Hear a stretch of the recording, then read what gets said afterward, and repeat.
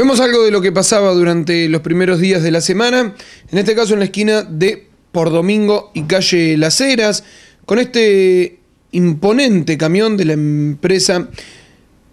Siagers, Sociedad Anónima, que es un camión que ha sido alquilado junto a los servicios, ustedes recordarán luego de una reunión de la que participaron concejales de nuestra ciudad en Acumar con gente de la empresa APSA, que finalmente terminaron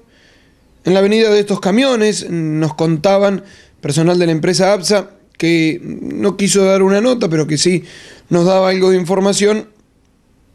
que la tarifa de este tipo de maquinaria ronda los 2.000 pesos por hora, pero que el trabajo que realiza es realmente muy importante, muy necesario, sobre todo para el buen funcionamiento de las cloacas. Esto comenzó ya en los últimos días de la semana anterior, este tipo de trabajo que se ha intensificado,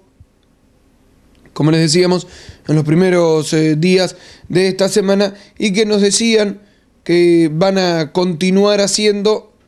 en tanto y en cuanto sea necesario. Hay que ver con qué nos encontramos una vez que empezamos a destapar todas las bocas de tormenta, nos decían los responsables de ABSA, que como les decíamos, a través de ellos y fundamentalmente también de Acumar se ha contratado los servicios de la empresa que vemos eh, a continuación, Gesser, que son los responsables de realizar esta tarea que es verdaderamente muy importante. Nosotros vamos a compartir el proceso en una de las bocas de tormenta, puntualmente la de la avenida Villamayor y calle Las Heras. Bueno, primero hay que abrir las tapas de las bocas que en más de un caso, por hacer mucho tiempo que no se abren, están prácticamente selladas. Nos contaban, luego de diferentes maniobras, una vez que logran abrir la boca de tormenta, comienza el trabajo propiamente dicho. Se colocan estos tubos que estamos viendo, que lo que hacen es levantar toda esa suciedad que se ve. Esto vendría a ser una especie de aspiradora gigante que succiona el sedimento, los restos que van quedando en el fondo de las cámaras y que también quedan en los caños. Nos decían, con esta máquina nosotros levantamos